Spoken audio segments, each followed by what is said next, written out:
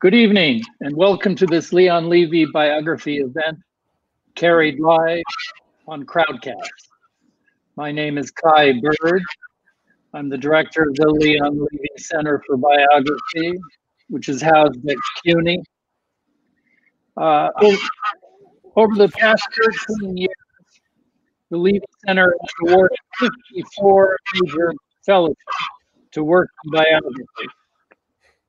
Five $2,000 fellowships awarded each year, generously funded all these years by, by Shelby White and the Lee Foundation. To date, some 23 biographies have been published, including this one by our guest this evening. Blake Gopnik has been the chief art critic for the Washington Post and the art and design critic for Newsweek and critic at large for Art News. He is now a regular contributor to the New York Times. While working on his biography of Andy Warhol, he was both a resident fellow at the Leon Levy Center at CUNY and a recipient of a Cullman Fellowship at the New York Public Library. Annalyn Swan will be interviewing Gopnik, and she has co-authored two biographies of artists with her husband, the art critic Mark Stevens. The first, De Kooning, an American master, won the 2005 Pulitzer Prize for biography and the National Book Critics Circle Award, and was named one of the 10, 10 best books of 2005 by the New York Times. I'm sorry, I'm hearing a terrible echo. Uh, her second biography, Francis Bacon, will be published in the US by Knopf in November 2020. And before handing off to Annalyn, I just want to say I, I hope this is, provides intellectual entertainment in the midst of this terrible pandemic. The pandemic rages on, but one good thing out of it is that biographers just sit and in isolation and are being very productive. So Annalyn has just finished her new biography, and I have actually just turned in my own manuscript on Jimmy Carter. So one, one small good thing out of this terrible pandemic. Anyway, I'm now going to hand off to Annalyn. And I want to also say that our next live video event will be on August 6th, Hiroshima Day, with Nancy Greenspan, uh, who will have a conversation with me about her biography of Klaus Fuchs, The Atomic Spy. Please check our Levy website for postings about other future events in August and September.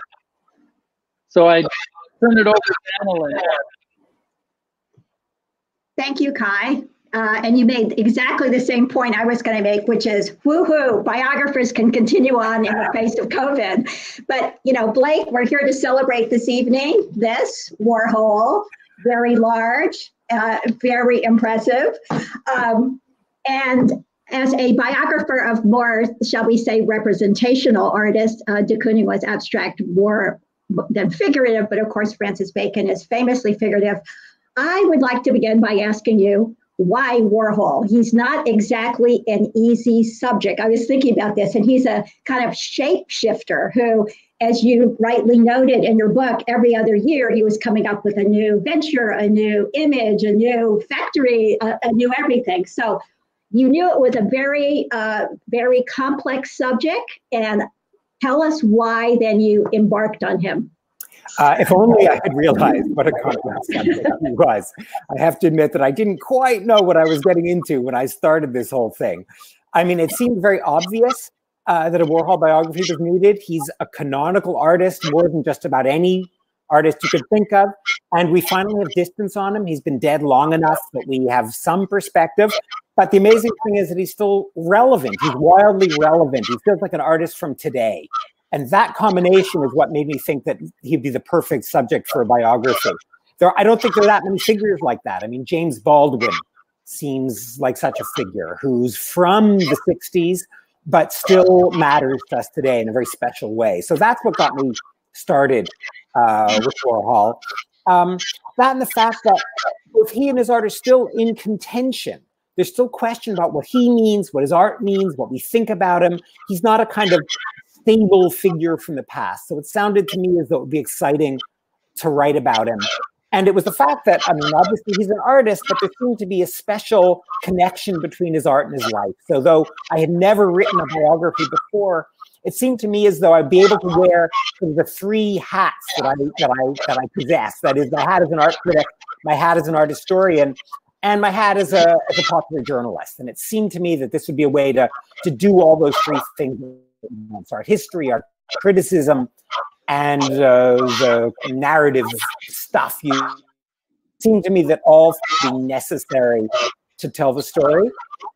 And then the fact that there was this amazing archive to bring to bear. I mean, I knew about the archive in uh, in Pittsburgh, and the fact that it had recently been more or less inventoried, or at least I thought it had been, in a way it never had been before. So all the earlier biographies hadn't Stop been. right Uh, there for one second, Blake, because I, I, I need to put this in perspective for our listeners because not only did you have an archive, which we want to hear more about, but most of us, in fact, virtually everyone, has the problem of digging, you know, digging, endless digging, looking for more clues into our artists, whereas you had exactly the opposite problem.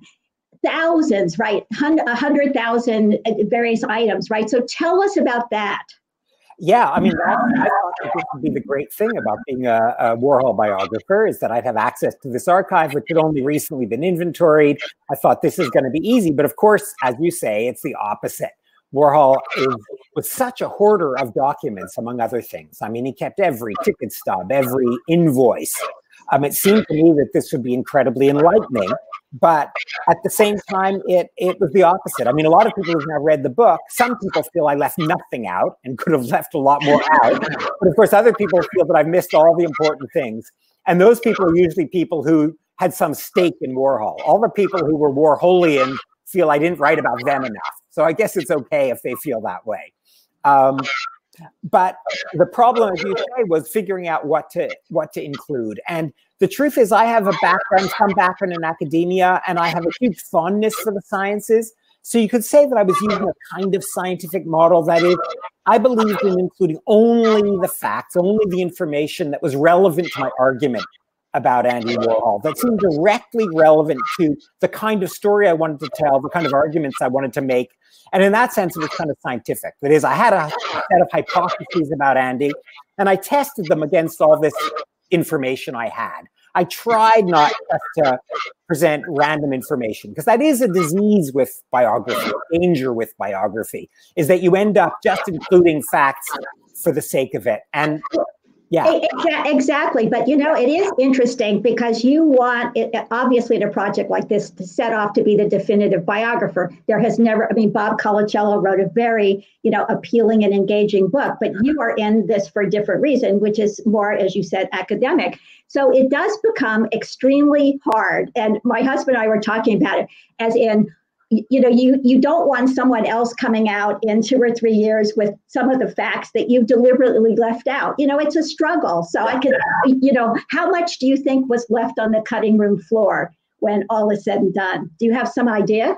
Oh yeah, absolutely. I could have written. I mean, it's the book is about almost a thousand pages. I could have easily written four volumes like that. I could have gone. I could have gone full Richardson and just written volume and vol- after volume on Warhol. And in a sense, I did because you know I have all these endless endnotes that are available online, and a lot of the information that I cut from the final book is in the endnotes. So that helps a lot. It's actually great to have that as an option, and I'm still adding to it because I've got this crazy page um, web page of addenda that I'm adding to every single day and still making discoveries. Um, Yeah, you're it's- it's a that because- Yeah, because most of us are stuck with it being in the book. You know, it's finito. On the other hand, like it sounds like you're going to be at this for another 10 years. But another quick question, and I know we should be going to slides, but you mentioned Picasso, the other great name. And in, in the book, you actually say that you think that Andy Warhol has displaced uh, Picasso, or at least is giving him a great run for his money as the single greatest uh, Western artist of the 20th century. So could you just tell us a little bit about that and how you came to that? Because you know picasso is picasso with all the great draftsmanship skills and everything else. So that's an interesting statement for you to make it is a terribly interesting statement i'm sure except i have no idea what it is because i lost you completely there for your entire question except the last half a phrase so um, if you can quickly repeat it, Annalyn, that might make it easier for me to answer. Sorry about that. There's a computer. Sorry about that. Can you hear me now, Blake? Now I can. Thanks. Okay, so what I was very quickly uh, riffing on was was uh, your previous statement. You had mentioned Picasso's name, and uh, in the in the context of Richardson. And one of the things that really interested me a lot, and I thought about it a lot when I was reading your book, and you said that uh, that Warhol, uh, in your opinion, has in effect either displaced uh, Picasso as the great 20th century figure, possibly icon, uh, or at least is giving him a run for his money. So I would love to hear, you know, your thoughts on that.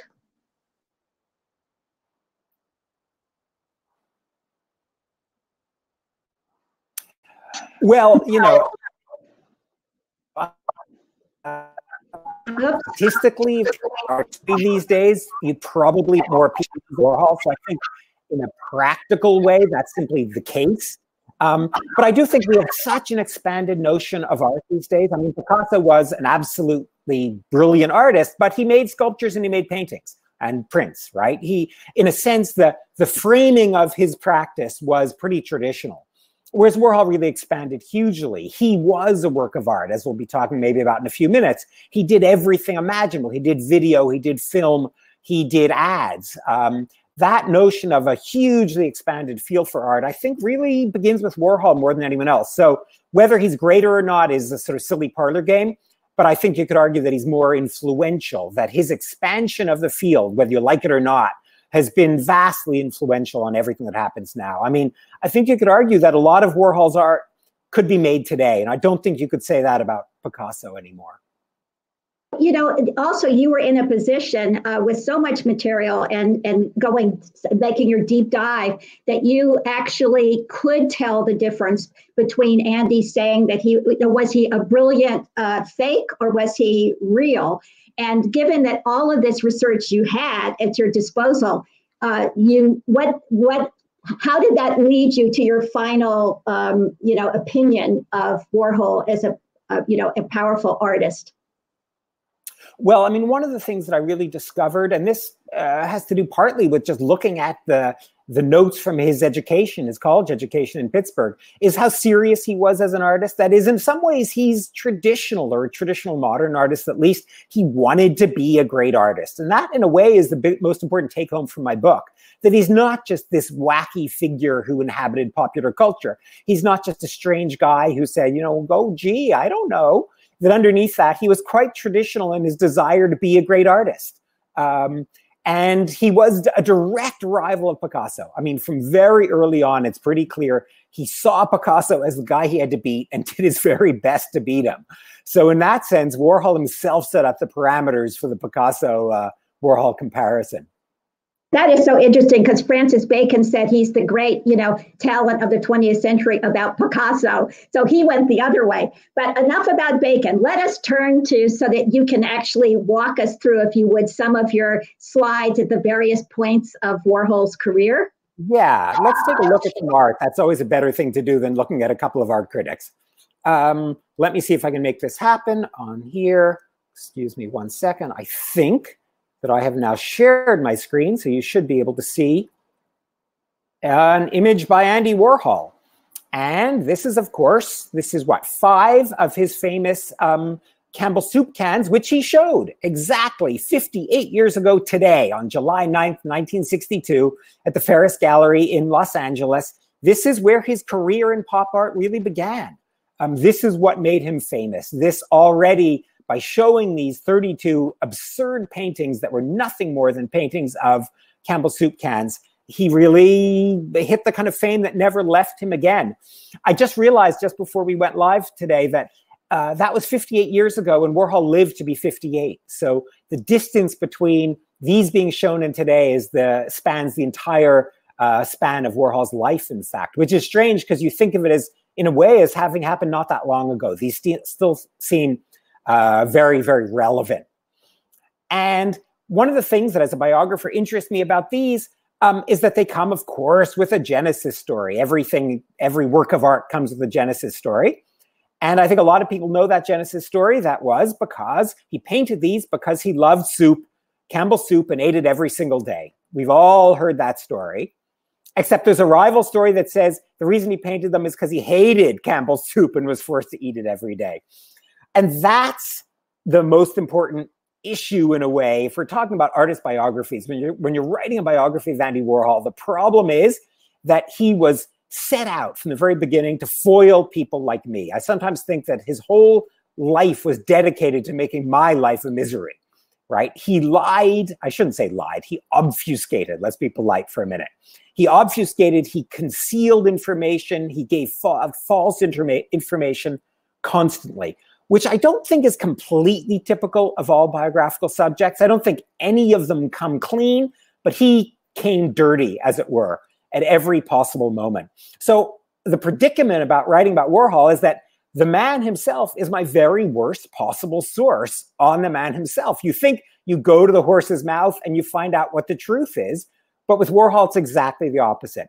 If he said something about himself, it's more likely to be a red herring than not. So that puts a biographer in a kind of weird position. And even his lies are often not even coming from him. He had stand ins lie for him, he had um, uh, ghostwriters lie for him.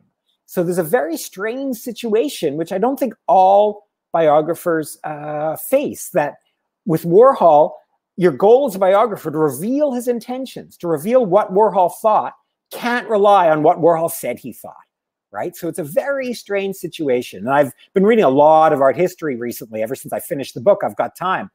And I realized that almost every art historian goes to the artist to find out what they say about their work. You go to them to find out what the work is about, and they tell you what the work is about. But with Warhol, because he's the world's most amazing obfuscator, you're in this situation where he's likely to tell you the opposite of what his work is about. I mean, what where does Francis Bacon stand on this continuum, Annalyn? Uh, well, he was absolutely into obfuscation as well. He never wanted anything revealed. He wanted his early design clear uh, a career just completely obliterated. But he did not.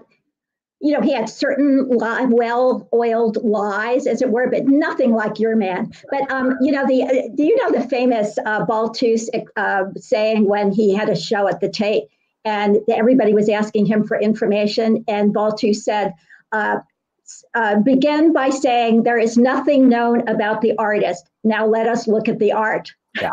Well, I think that's what Warhol's goal was. I yeah. think he he played the idiot and he lied so that he would be such an unreliable witness to his own intentions that you had no choice but to go to him, rather go to the art to figure out what it was about. But that's a weird situation for a biographer to be in, right? Because you don't want to just look at the art. You're not supposed to only be an art critic. You're supposed to be talking about the man and his thoughts. And that that makes life complicated. The story of Warhol is complicated. Um, and then, of course, his fame makes it even more complicated because it distorts everyone's memories of him. I mean, you're guaranteed whenever you talk about uh, Warhol with one of the people, even the people who knew him, they'll come out with some story about him as a soup eater. And it's pretty clear that they're making them up a lot of the time, right? Because it's too appealing not to say, oh, yes, I saw him eating Campbell's soup. And I have one source who says, "Don't be don't be ridiculous." He ne- or somebody who knew him extremely well. His chief assistant Nathan Gluck said, "Don't be ridiculous." He never ate Campbell soup, which seems reliable to me. Except that Nathan Gluck, of course, would also have a reason for wanting to contradict everyone else because it gives him more power as a source. But Nathan was not the big druggie that everybody else was. So you know, my quiet thinking would be maybe maybe go with him. Quick question: How many since uh, he he you know went back to this Campbell's tomato soup series? Approximately how many of those famous famous cans are out there? Would you guess? Oh, not very many, because I mean, he made 32 of this series, and he made a few larger and smaller ones beforehand, and then he made a series of prints. And, and there's one other series of paintings, but there aren't that many Campbell soups, except, of course, that every time someone handed him a can of Campbell soup, he was happy to sign it. So in that sense, there are an awful lot of signed Campbell soup cans out there. And there are also, I, am afraid to say, a number of forgeries of drawings of Campbell soup that might just not be by Andy Warhol. Um, so it does make you a little bit, a little bit suspicious. Um, but one of the things, I mean, I was saying that that you can't just talk about the art, but I think that one of the things that both of us like about writing an artist biography is that you do have the art as objects that ground you. And for me, it's important that they free me from the typical kind of literary storytelling that happens in a lot of biography that I'm not quite as fond of as some people are. It saves me from some of the psychologizing that you're supposed to do as a biographer. It lets me keep coming back to the objects. It gives me a uh, scaffold of real things in the real world rather than just the foibles of a personality in an attempt to look into the soul of Andy Warhol. I, I challenge anyone not only to look into the soul of Andy Warhol, but to find the soul of Andy Warhol to look into it. And I'm not interested in souls. It's not something I believe in a lot.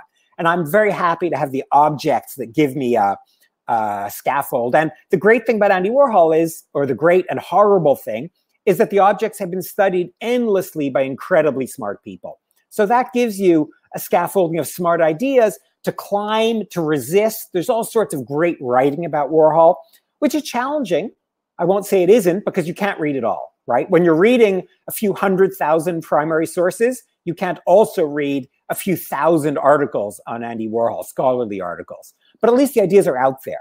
So that I think helps avoid some of the sort of cliches you might fall into otherwise. Again, how many years did you spend on this project? It's also hard to say the day you started and the day you ended, but something like seven years. Seven years, a lot of things a week, you know, uh, close to 14, 16 hours a day, a lot of that, always seven days a week. So it was it was a project and a half. I would say that's a very, very quick turnaround. so congratulations. Why, why, don't we go to the next slide yeah, so that people absolutely. Let's do that. Now I'm actually going to take us back in time. Uh, I wanted to start with the Campbell soups and but then I want to go back to uh, the 50s, which is when Warhol showed these gay drawings um, of his, um, because it mattered to me. These these are interesting from the point of art biography, and that's one of the things we are, after all, being sponsored here by the Leon Levy Center, which is a biography center. Um, so let's talk about biography. One of the great things about Warhol and about his art is that they let you do a lot of social history, and that was really important for me in my in my book that is setting up the framework that Warhol was working in. And for Warhol, the framework of gay history is really important. And there were a lot of interesting things that let me get to the core of Warhol's gay identity, Warhol's gay history, and the important gay art he made. So it's nice that the social history, the social context for the man and his art coincide in a sense, that you have to do the social history for understanding either of them. And you can't understand Andy Warhol without understanding that he came from the most homophobic place possibly in America. I mean, Pittsburgh in the 40s, I've said this before in other contexts, was just a nightmare. But the 1950s art world in New York wasn't a whole lot better. Um, so there's this sense with Warhol that telling the full story of him as a gay man is also telling the story of his art. Um, that this art, you know, that in the 50s, a lot of his art actually was explicitly gay. And I think we've lost track of that to a, to a certain extent. Um, but these kind of images also, for me, bring up the, another problem that comes up when you're writing about Warhol. And I think that this must be true of de Kooning and Bacon as well, which is that when you're writing about such famous artists, superstar artists, there's a tendency to be confronted with a kind of unthinking adulation. There's a sense that the public has, at least, that you're supposed to love almost everything they did, right? Once someone is a Warholian or once someone is a de Kooningian, de, Koon, de Kooninginian, um, they are there's an automatic sense that they expect you to be positive and that they're positive. So the notion that Warhol, for instance, was this superb illustrator in the 1950s is something I had to fight against and and if you like complexify it to get away from that cliche because I think he was just the normal normal excellent skills as an illustrator, like so many others did. He was kind of derivative of a lot of other illustrators. Um, but studying the gay history really woke me up to how much content mattered in Warhol. That even if his style was quite a lot like like Jean Cocteau and often quite a lot like like Ben Shahn, his explicit gay subjects were incredibly daring and radical for that moment. So in a sense, at the in the 1950s, you have to look through the style, which isn't that important, at the pure content. And I suddenly realized that's exactly what he comes to in the early 60s, right? The Campbell soup cans have, are of no interest stylistically. He realized that you could dilute art, or rather concentrate art, distill art down to just content. So I love the way that I argue, at least, that the gay content of his 50s art, which is totally unacceptable, that got him in huge trouble, survives as pure, the notion of pure content into the into the 1960s. Um, that's the kind of uh, biographer's game that I like to play, at least. And so that's that's my my take. I mean, do you run into this, Annalyn, that that there's a problem with being critical of the artist that you're writing about? I, I would say no, because uh, there were enough uh, moments in de Kooning's career where he fell off the pedestal. Uh, for example, just when you know Andy Warhol, all, all pop was happening, um, de Kooning was passe. You know, he left New York in the very early 60s because the kings were now dethroned. So there's always been more skepticism than you might imagine. I mean, there's been lots of skepticism about Warhol, but you know, Bacon had the same problem. And every time he ventured in a new direction or towards the end of his life became very more formally as an artist, he was untrained. That is true a myth that happens to be true. Um, so they're, they're in each case, you know, they weren't, say, no, they weren't Picasso, since we keep using that, you know, who had protean skills at every single point. So, uh, you know, I, yes, I, but your point here is very, very interesting how this reflects, uh, ripples across his career. I mean, for me, the problem is not so much his reception his own day, because there were a lot of a lot of actually quite stupid hating of Warhol that went on in the '60s and afterwards. It's that there's a kind of the people who like Warhol now like Warhol an awful, awful, awful lot, and they read his genius and from 1962 back into everything he did. I mean, as a student, he was one of the best students in college, but he still made student work. And the tendency to see everything he ever touched as coming from the same genius who was a genuine genius when he did the Campbell soup cans. So there's, I think Warhol's been canonized, sainted even, in a way that that other artists haven't quite been, at least among his fans. But then, of course, he's also a devil for a lot of more conservative critics to this day, which is kind of surprising. He's a lightning rod, you know. He really is, Blake. In a way, I think that the rest of us escape simply because he was so famous and continues to be famous. You know and complex. I mean, it's impossible to come to a sort of final conclusion about Warhol at all. So there really is room for disagreement about almost everything he ever did. There's still people who think he was an absolute fraud from beginning to end. You know, living art critics feel that way about him. And I don't think that's true of most artists of his stature, you know, who are in the canon. Um, and I think I can tell you one reason they feel that way. And let's go to the next slide uh, to show why that might be. And that's because of this guy here right? Um, this guy, Andy Warhol, and I'll put him in, in quotes, is our problem. Um, the guy in, in leather glasses who appears in uh, in shade, you know, leather glasses. Sorry about that.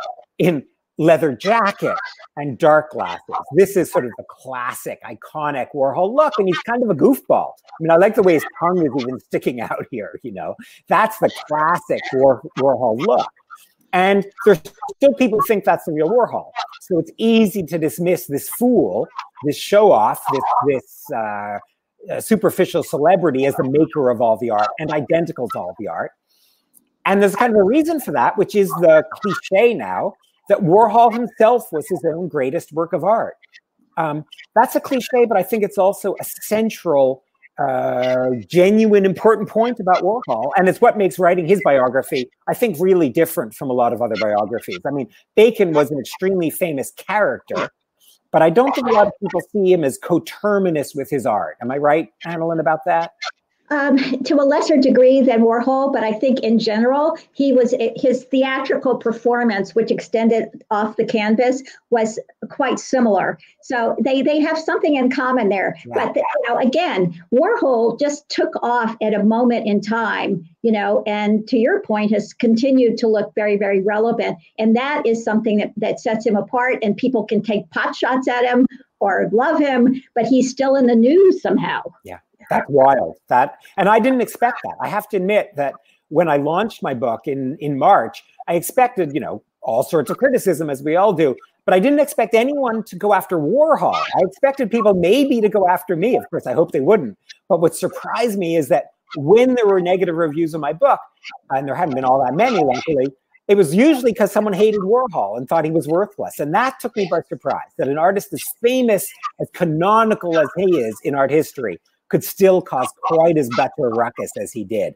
And again, I think that's partly because it's not only about his work, it's about him. Um, exactly. And you mentioned to me just apropos this that uh, the, some of the reviews in England of your book, you know, they were still like poo-pooing and poo-pooing that this uh, American, how, how could we possibly say that he is a great uh, artist, right? Yeah, absolutely. That was the initial reception of my book. It appeared in England a month before it appeared in the United States, and that was the initial reaction in among a lot of more conservative British critics. And they specialize in conservative critics in a way we don't quite. Um, but you know, regardless of whether you like Warhol as a person or not, there was still something very, and I can't say that I always do. His his fictional persona can be annoying, right? At a certain point, you get fed up with the silly guy with his finger, you know, his, his finger in on his mouth. Um, but it's still exciting for a biographer who's also an art critic because in the act of writing Warhol's life, I got to do art criticism definitionally, right? If he's one of his, his greatest works of art, and I really believe that's not just a cliche, it's not just a figure of speech, it's something really important about him and about his art that when you're writing about him, you're writing about his work. That I like to talk about my book sometimes, and I've said this before, as a nonfiction account of a fiction named Andy Warhol, right? That that's really, I don't care if I get to the real Andy Warhol, so long as I really tear apart the fake one. So long as I come to understand everything about this fake character called Andy Warhol. That, in a sense, is more interesting than imagining that I'm going to get to the heart of the soul of Andy Warhol.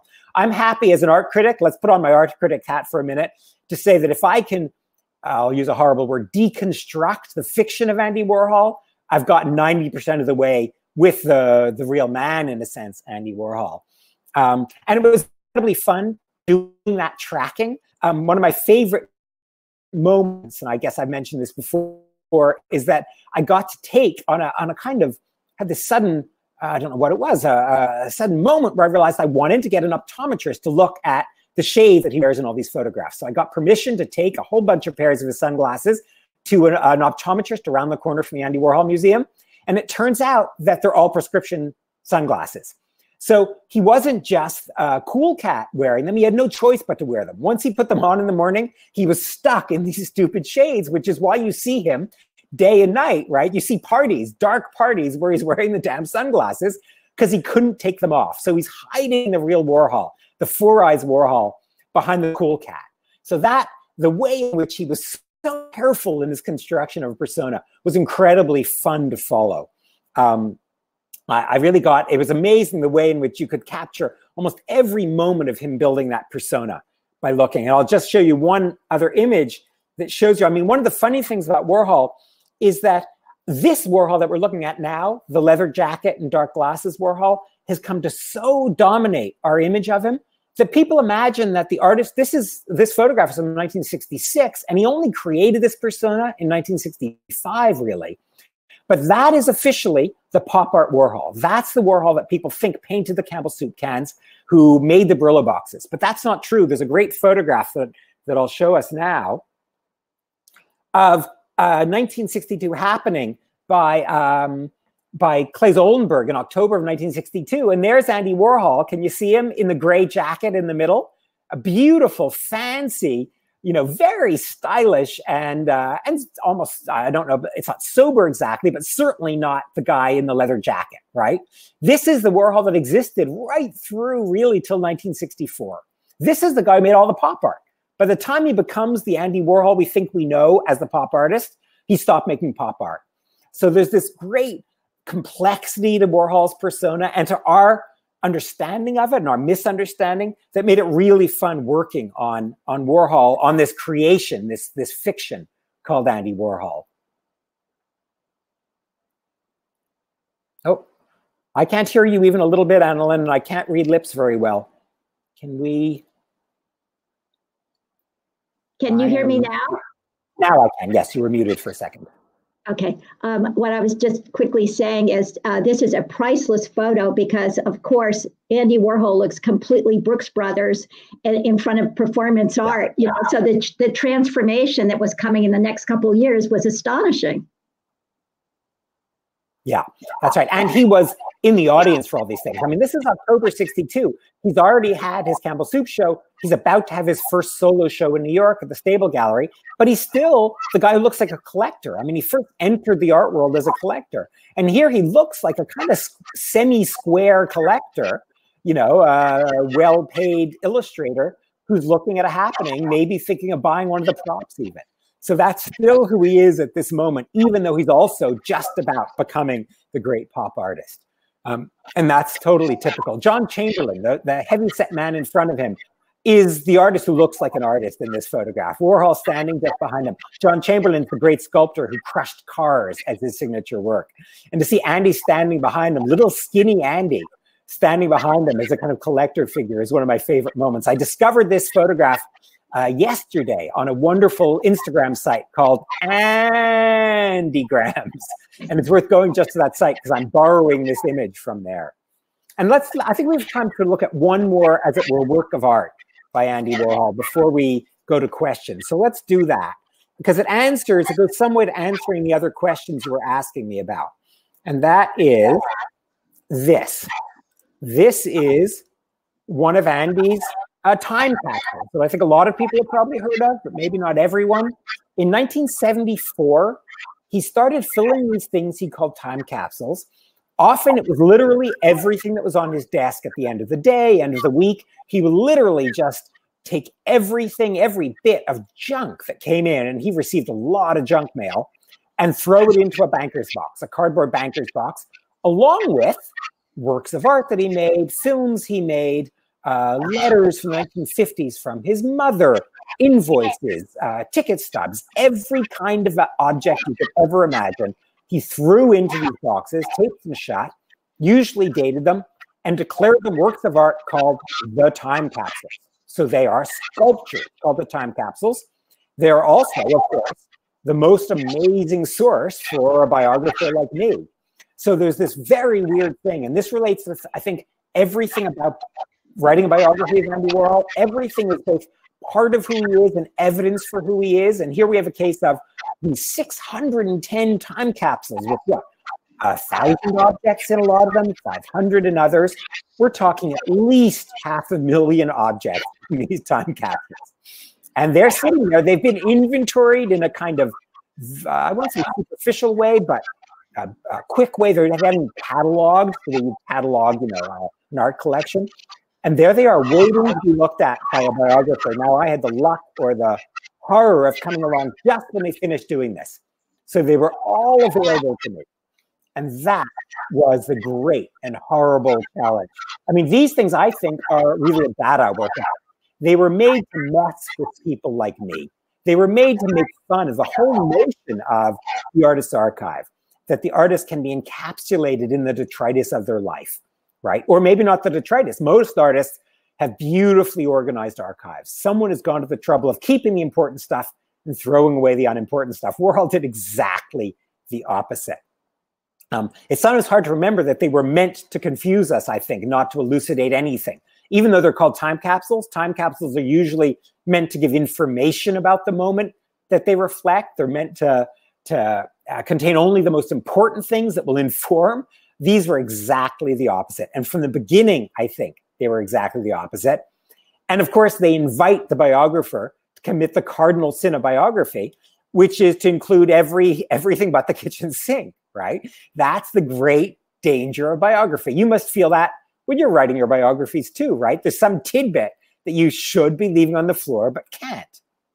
Uh, unfortunately, uh, Blake, I wish there were more tidbits, but you know, really, we are at opposite poles. I mean, we had uh, the Dickens of a time trying to do a deep archival dive, like like you did. I mean, it was all reconstructed from uh, secondary sources uh, for the most part. But um, again, I think uh, on balance, I would rather be on our side of the equation because I think it is so difficult are you here to tell us that we have this many time capsules plus another 100,000 objects in that archive?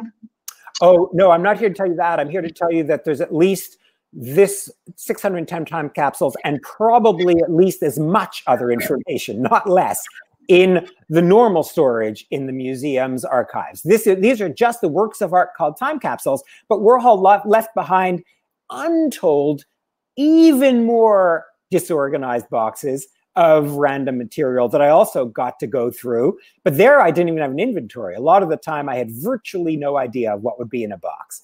Um, it was both beautiful and absolutely terrifying. Um, but of course, the nice thing about it is that there's a small sense, at least, that in order to write a biography of Andy Warhol, the world's great hoarder, the world's great obfuscator, there probably should be a tiny bit at least of random information. You should try to capture uh, in a very small way at least some of the pleasure in in your hunt and there has to be a little tiny bit of excess i think somewhere in the story to capture the fact that all this information is there so for me for instance writing uh, four or five pages just about andy's cats which is probably for, at least three or four pages too much was something that I just couldn't resist. That seemed Warholian to me.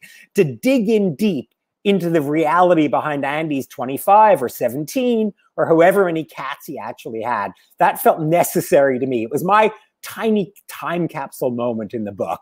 Or, and I guess I'm slightly ashamed of this, when you come across several references to the size of Andy's penis, it seemed impossible not to include that in the book.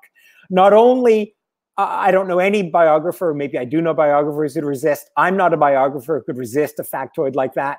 But it helps that Warhol himself was obsessed with the size of people's penises. So it seemed only right to get revenge by outing his penis size in, in, in my book. But there are inevitably things like that that you just can't leave on the floor that you put in a time in the time capsule of your biography, in a sense, because you can't resist it you know, I think all biographers are to a certain extent makers of time capsules. What do you think? At where you let yourself go, as it were, about his Siamese cats. Um, the beginning, the, the very beginning of your book, very vivid moment that I wish you'd t- sort of talk about. And there you seem to, you know, when he almost died the first time, there you seem to have just really gone in and wanted the sort of dramatic detail. You must have reported the hell out of that uh, particular moment.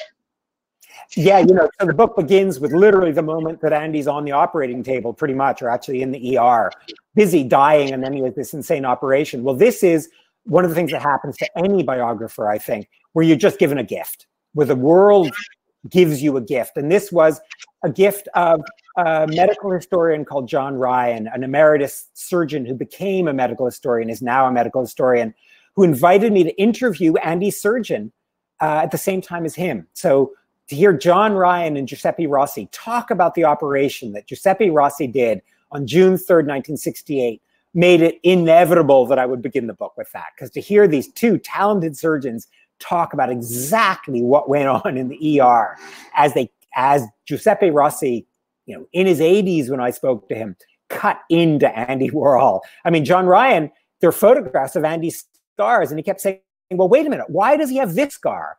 And Rossi would say, Well, I was looking for a source of bleeding, so I cut him there. And, You know, kind of as good a place to cut him as anywhere. So these absurd photographs, these Frankenstein photographs of Andy covered in scars got explained for me. And once that happened, there was no way that, you know, I don't think of myself as a writer first and foremost. I'm a historian, I'm a an art critic first who happens to have to write as the only way of communicating. I mean, I like to say that if I could do a Vulcan mind meld with my reader, I'd prefer to do that than have to use words. But even a writer like me, when I came across this incredible tale of the operation, there was no way I couldn't I could not begin my book with that. Where you also expand again into a dramatic realm that we sometimes don't get elsewhere, you know, because your focus is elsewhere. But when Valerie that afternoon makes her slow way up to the the the loft to you know to shoot him, there again you just it, you're almost the readers is there moment by moment. Uh, which is a sort of nice interlude in in the book because it's all there. It's also immediate. Although there's a good case, the surgery, you know, I trust Giuseppe Rossi on that surgery. Uh, and we've got some some operative notes that survive. I mean, there is some real good information. The Valerie Solanas thing is worth looking at my end notes, at least glancing at my end notes, because everything I tried to triangulate what seemed to me the most likely bit of that story. But it's kind of like Andy's Campbell Soups. It's such a famous moment in his life that it's told differently by every eyewitness, even right? You get radically different versions of what happened that day. So I had to put on my author's hat at that moment, my uh, novelist hat, even if you like, and say, okay, I'm going to tell one of these stories because it would be too annoying to at every minute say, well, so and so says X and so and so says Y. I had to be able to tell a story at that point. And again, one is saved by one's endnotes because if someone wants to find out the other versions, they can go to the goddamn endnotes and, and more power to them. So that was really, I'm, uh, you know, it's now becoming slightly more common for endnotes to be online. And I think this will be really salutary. I mean, I know someone who's writing the history of digital imaging. And his publisher, of course, wouldn't let him have a thousand pages of endnotes in the book, but he's going to put them all online so that information isn't lost to the world. Because that's one of the dangers is here you do all this research. And if you don't make it available somewhere, it's gone. Someone else might never find the document that you found. So I'm I can't tell you how happy I am to have the internet. And just as a little aside, and I'm sure you'll agree with me, I couldn't one could never have written my book without the internet. Access to all oh, the material. Totally. You are so right. For peripheral, secondary, tertiary characters, you know, and you can sort of come up to speed and then think of, you know, the questions, you know, beam in on what you should be asking and and the major points. I could not agree with you more. The difference between writing a book uh, as Kai said, our, our De Kooning was published in 2004 5. Um, and, and now is it not it well i guess like you don't have a prior biography but it is astonishing astonishing how the world has changed and to our benefit. But we have uh, uh, maybe one or two more images before we open it up for questions? No you know what? I think it's time to, to open it up for questions. Otherwise i'll just keep talking forever and ever and ever. This is actually not a bad this gets us into the subject of how biographies are written, the time capsule does. So let's just go to people's questions instead. Okay. So, um, what I want to do here is quickly see um, when you make the decision to embark on a biography, do you do any research? Um, any to see if some other writer is working on the same subject and has a big head start. yes, you do. Um, you know what? You don't really have to do that in a sense. Um, in my case, I had an agent involved from the very beginning. Um, and of course, I was in dialogue with the Warhol Museum. So they would have told me, Blake, you're barking up the wrong tree. There's already someone who's gone through all the time capsules. Right. So I could, I knew perfectly well there was no one else doing quite the kind of work I was doing. So I was lucky in that way. But yeah, I think every uh, every biographer has to do some groundwork to find out. I think there have been cases where someone didn't know. I've heard rumors of cases where two biographies began simultaneously without people knowing, but you soon start interviewing people and they say, wait, there's someone else writing a biography at the same time. And that happened to me even, because I would interview someone and they'd say, oh, just last week I spoke to someone else writing about Warhol, and I would find out it was a PhD student or a, a scholar, so there wasn't any risk to my biography but yeah, I'm Annalyn. Have you come across? Is there anyone else galloping forward with a Bacon biography?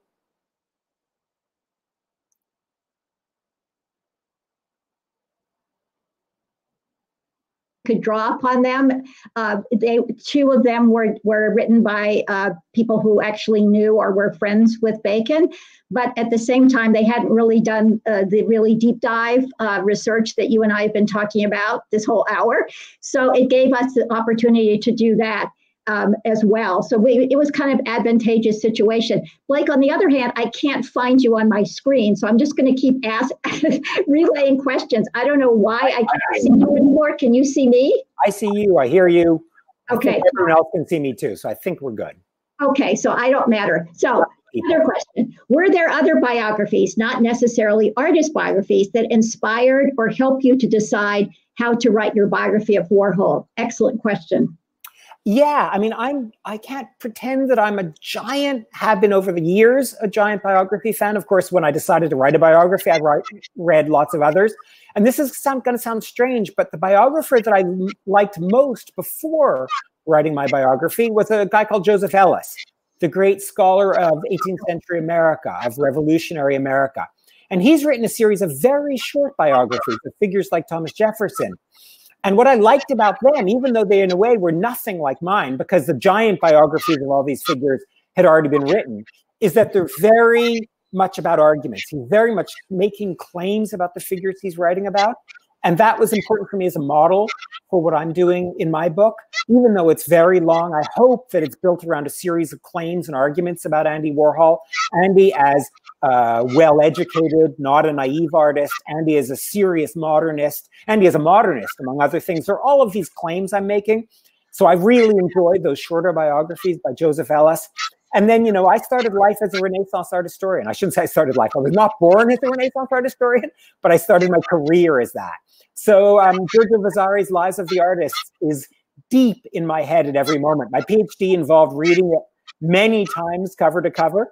So that is in the background at every moment. And he's a great storyteller, but he also has real, the real stakes, art historical, art critical stakes in his work. So that mix of talking about art and talking about people and talking about the art through the people, I got uh, in my, you know, from the beginning of my education as an art historian. So those two, Joseph Ellis, who writes tiny little books, and Giorgio Vasari, who writes volumes and volumes, are kind of my two models.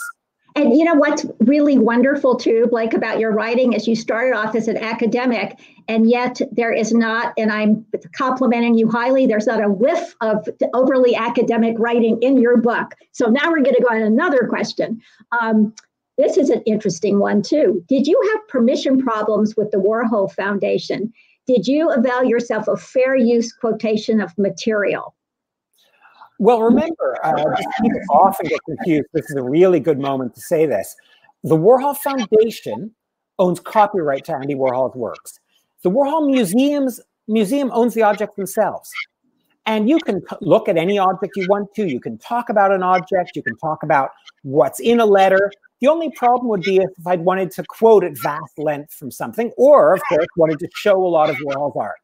Um, then I, of course, whenever I actually reproduced an image of his art, I had to go to the foundation, and they were very, very helpful. Um, you know, my book is a biography, not uh, a book about art, so it doesn't have a lot of images of Warhol's art. It has a million images of Warhol, which mattered a lot to me. Every chapter begins with a different image of Warhol from the moment that the chapter discusses. And I love just going through the 52 images that represent 52 stations on the way to Warhol's death, if you like. Um, so no, there wasn't really a problem there because I mean, except when I wanted to quote at length from from a Warhol document, and I did occasionally. The Warhol Foundation was absolutely happy to have me do that. Uh, I, they never refused anything, um, but I don't do that at vast length. As a biographer, you don't quote huge bleeding gobbets of the person talking. That would be very boring, and you don't need permission to talk about someone or about a text. So that it really wasn't too much of an issue. And the Warhol Museum was deeply collaborative. They wanted a good biography written. They felt there was a need for one. And I spent weeks and weeks and weeks going through that archive. They were vastly helpful. Uh, the bio, you know, the archivists were amazingly helpful to me. You, you know, we are both very, very lucky in that sense, Blake, because, you know, uh, the, the uh, questioner here is onto something. Um, estates can stop you in your tracks, as we know. And it's very difficult, I would submit, uh, for us today as biographers of artists to work around an estate. I mean, they have a complete all rights reserved. And so if they don't like your take on a biography, then that's it. Do you know what I mean? That's that's a so yeah. researchers and and potential biographers need to know that that a state can be tremendously helpful or tremendously unhelpful. I'm lucky that all the documents were given out of the estate to a museum where they are, of course, public, you know, museums are there for the public good.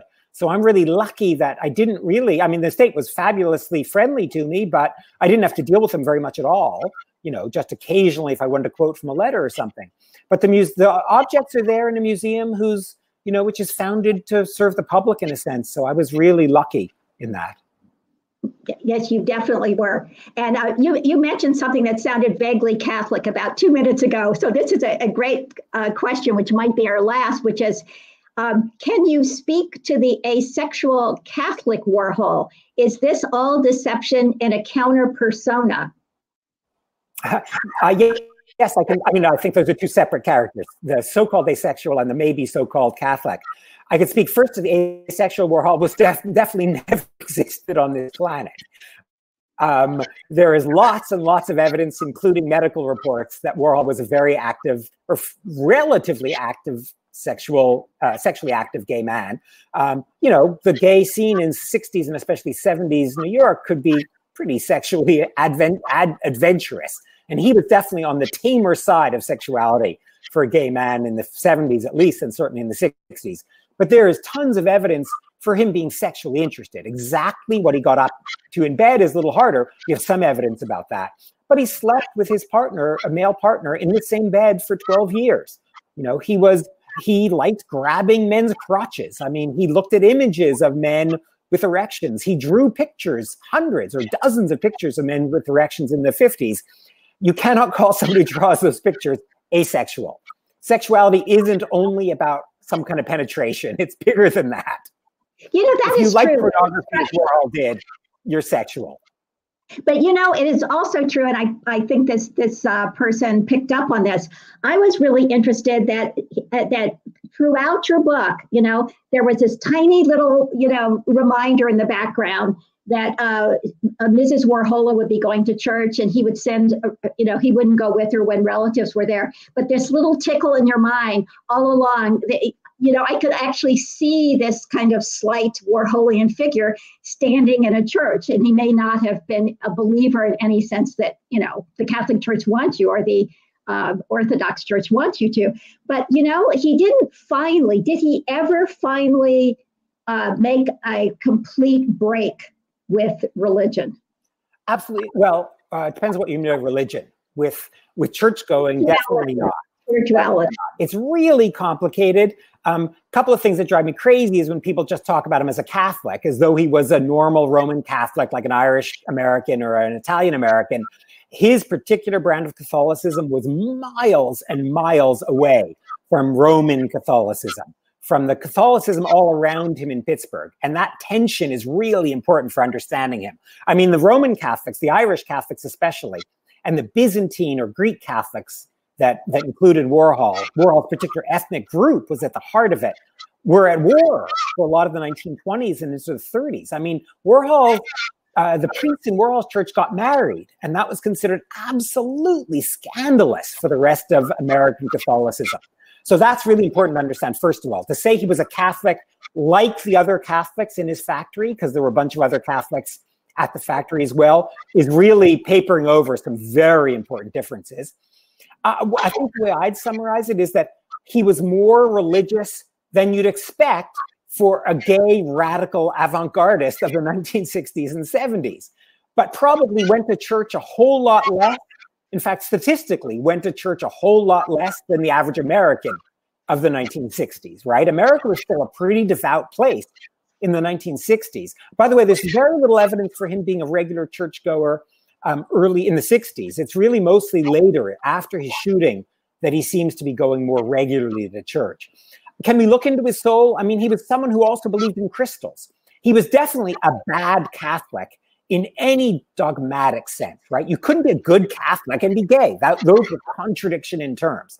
Did he know anything about the theology of Catholicism? I think there's no evidence that he knew, you know, anything about the triune God or any of the central uh, concepts of Catholicism.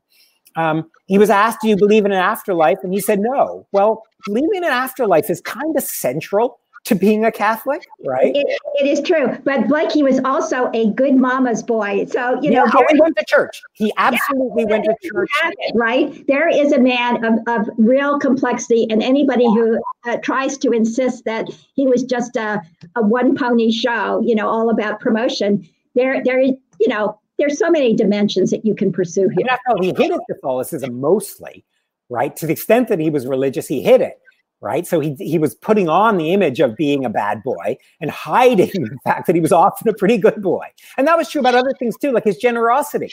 He could be phenomenally generous to people, to his intimates. He could really be uh, both financially generous and spiritually generous. And yet he always hid behind this kind of creepy uh, cheapskate front. But also the reality, I have to say. He could be cheap as anything. That is wonderful. That's probably a great note to end on because I believe, Blake, we are going to run out of time very, yeah. very, very soon. So I think that uh, we should thank everybody for coming in and to Kai and the Leon Levy Center for hosting this evening and to Thad for helping us get underway. And I have to thank the Leon Levy Center for um, for helping me for a whole year. I was in residence there. They gave me a nice little salary. I had fabulous access to libraries. I could not have written this book without them. So I have to thank the Leon Levy Foundation for making that possible at the Leon Levy Center. And on that happy note, thank you again, everybody. Thank you. Forza Warhol, as the Italians would say.